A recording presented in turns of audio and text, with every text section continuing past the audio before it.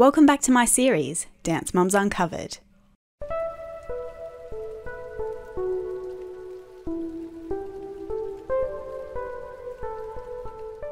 The police got called many times during the filming of Dance Moms. Many of these calls seemed unnecessary, and the situations were edited to make it seem like the drama escalated extremely quickly. So today we're going to be looking at all the unseen causes and consequences of these phone calls. Because there was more to the situations where the police got involved than the producers cared to show. Feel free to share your thoughts on the following evidence. First, let's look at Dawn versus Abby. The very first episode of Dance Moms also featured the very first instance where the police were called in to deal with an issue. In reality, this situation happened during the third week of filming, but the producers wanted more drama in the first episode to attract viewers to the show. On the show, we see Dawn enter the studio and march straight into Studio A to yell at Abby, but there was a lot of missing context leading up to this confrontation. That day, Dawn had received phone calls from several other kids and mums because Abby was berating Reagan to the point where she was hysterical. She had just finished up a class that was rehearsing a number where the dancers needed to wear socks. Reagan ran straight to her next class because kids at the ALDC would get in trouble if they were late for classes. Reagan didn't have time to take her socks off before entering the studio, and Abby harassed her for it, saying that she wasn't professional enough to be on TV. I got calls from uh, Reagan's friends that Reagan was hysterical. Other moms called me and said, You better get in here. Abby's gone after Reagan. There are dances where the girls wore socks. Reagan didn't get her socks off fast enough. And right, and, And you had Abby- to scoot in class because you couldn't be 13 milliseconds late. You would get in trouble. Um, Abby just simply said to me you, that I wasn't professional enough to be on TV. She didn't tell me whether I should change uh, and come back. She just said, get out. According to the production notes, she had been called in to join the girls especially for this week's dance, Ups and Downs. As she was changing her socks, Abby told her that she was stupid and said if your mum really loved you, she would take you to the children's hospital to find out why you're so stupid. And we all know that Abby is capable of this nastiness because she says it to Paige later in the series. Reagan has an autistic brother and often had to attend his doctor's appointments, so the comment really hurt her. On this same day, they claim that Abby also called Reagan fat. In fact, in an extended version of this scene, you can hear Reagan yell at Abby, You called me fat. Abby also said to her as she was changing her socks, How stupid are you? If your mother loved you, Oh my God, she would take you to Children's Hospital to find out why you're so stupid. So Reagan grew up with a bro- brother who's autistic, and her entire life, you know, she has spent in doctor's office and therapy appointments for her brother. But it hits Reagan even deeper because, well, Sure, sure. Like that's sensitive, of course. and Abby kept going after Reagan, called her fat. You call me fat, Dawn didn't think that the producers were going to film her because she wasn't chosen for the show. It was supposed to be a docu-series at this point, which is why she didn't hesitate before barging into the studio. Abby made some snarky remarks about Dawn that were edited out of the scene, mocking her religion and her job, saying, What kind of church would accept someone like you? when I came in and said to Brian, I don't care if you're filming, I wasn't thinking they were going to turn the cameras on me because I wasn't the chosen mom. She made some snarky remarks about me being a pastor mm-hmm. and, you know, what kind of church would accept someone like you.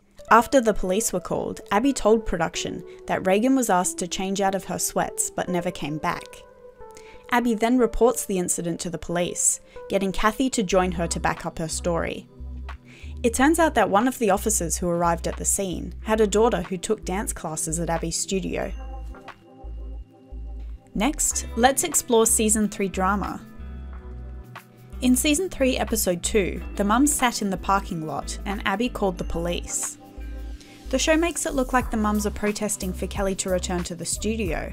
However, they were apparently there to protest against the producers to give them higher pay. Abby reports them for trespassing on her lot, and a Penn Hills police car shows up. It seems like she waits until after she calls them to organise a new team. However, looking at the outdoor electronic sign out the front of the ALDC building, Abby had already chosen her replacement team quite a while before the police arrived. As far as we know, the mums leave as soon as the police arrive.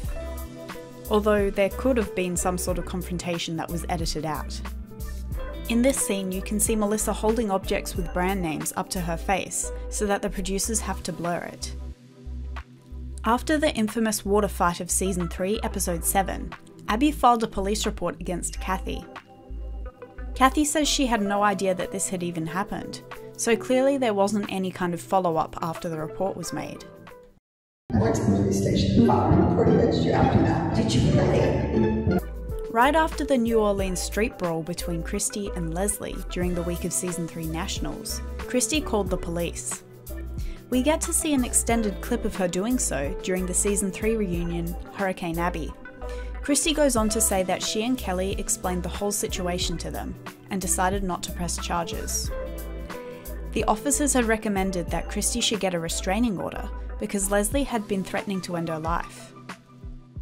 And that's why I didn't go through. Like I walked, I talked to them, but Kelly was in there with me, and I explained the entire situation to them. This woman no, first. the police actually wanted me to take a They restraining order on you because They wanted you to? threatened to kill me. You know- In contrast, Leslie says that the fight was planned because production had Payton teach the number to Ali in their hotel room.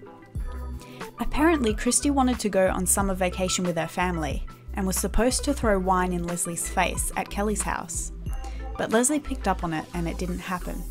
Allegedly, Christi told Brian Stinson that she would get it done, getting drunk and causing a scene in the street.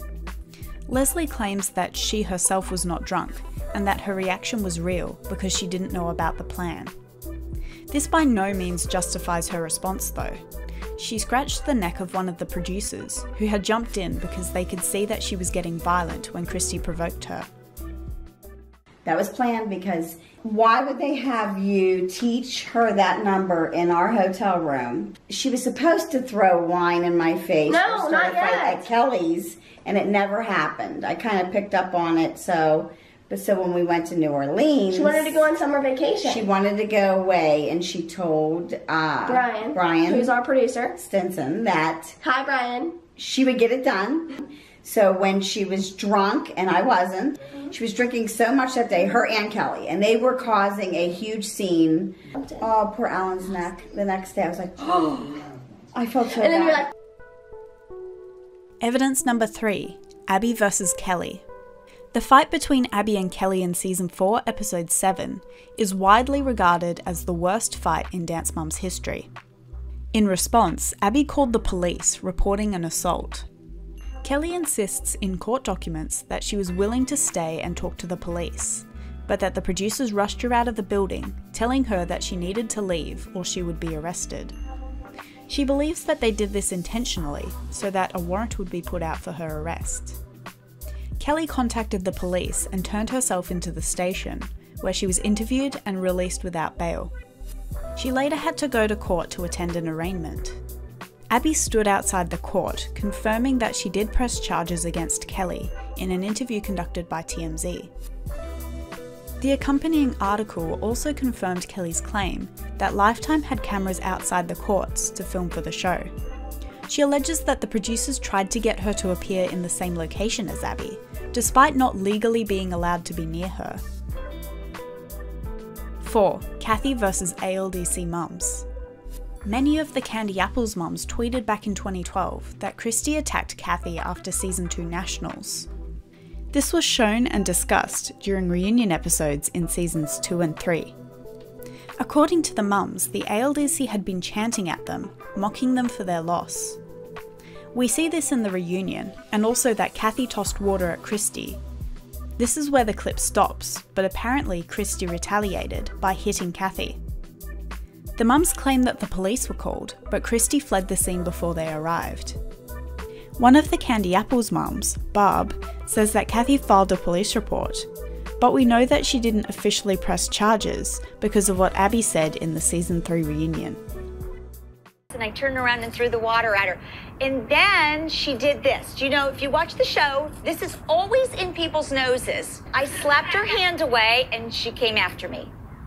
And I had bruises on my clavicle bone. Well, she you fell off the curb. Well, she pushed me off the curb. But she didn't come after yeah, you. she most certainly did. She pushed me right into a tree. And I told you you should have stood the crap out of her.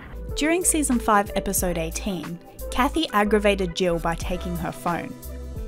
Cathy and Abby had been fighting, with Abby insulting Vivi-Anne. She says that she took Jill's phone because sometimes the mums would take and post videos of her bickering to try and make her look crazy. Cathy says that the ALDC called the police, but when they arrived, they thought it was just a funny television situation. According to the production notes from that episode, Abby was the one who called them and tried to get Jill to file a police report. But they were notorious for holding up their phones and videoing, and then they'd slap it on Facebook or they'd mm. slap it on Instagram or they'd slap it on Twitter and make it look like, oh my God, you were this awful person. And I just grabbed the phone right from her and went. So that whole episode was a lot of fun because they called the police on us and we were howling because the police were howling too because they were like okay this is a tv show like what are we going to do here And finally, we have season 8 drama. Abby was all too eager to call the police during this season. Unfortunately, not much information has been shared about why she called the police on Michelle in episode 10, but we do know why Abby filed a police report against Tammy during Nationals. Abby has since claimed that she was verbally assaulted by Tammy and that her appearance caused her to flinch in her seat.